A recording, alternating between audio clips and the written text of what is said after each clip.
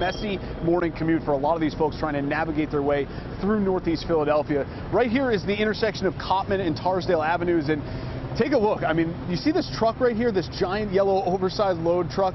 There's a whole line of trucks behind that truck and these are semis that normally would be going along State Road but have now been redirected because of that accident that Chandler was telling us about on State Road. So we simply have too many vehicles, too many large vehicles especially, a whole lot of semi trucks and not enough road to fit them in. So there's been mounting frustration. We've been hearing a lot of honking horns.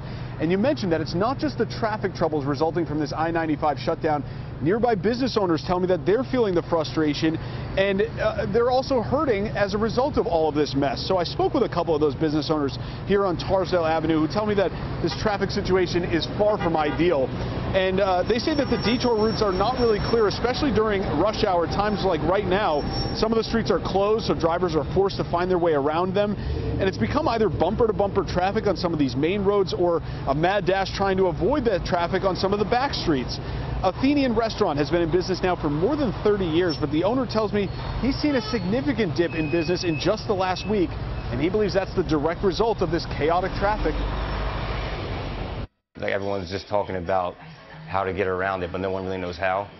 So I, am sure that's affecting how people get here. And, you know, if there's more traffic on the avenues, more less parking spots. A lot of these businesses are open, close after a few months. I mean, I don't think this is going to help at all in helping this area, you know, thrive. Now, despite some of the recent struggles, those business owners I talked to are actually somewhat optimistic about the plan to get I-95 back open, and that's thanks to that temporary bridge that is now being built on I-95. They just want to get their business back to normal, and they know that traffic has to get back to normal in order to do that. Now, back out here live, the city is actually now stepping in to try and help out some of those struggling businesses. They've opened up this business hotline at 215-683-2100, or they say you can go ahead and email business at phila.gov to try and get some temporary help and help these business owners get back on their feet feet. Guys, back to you.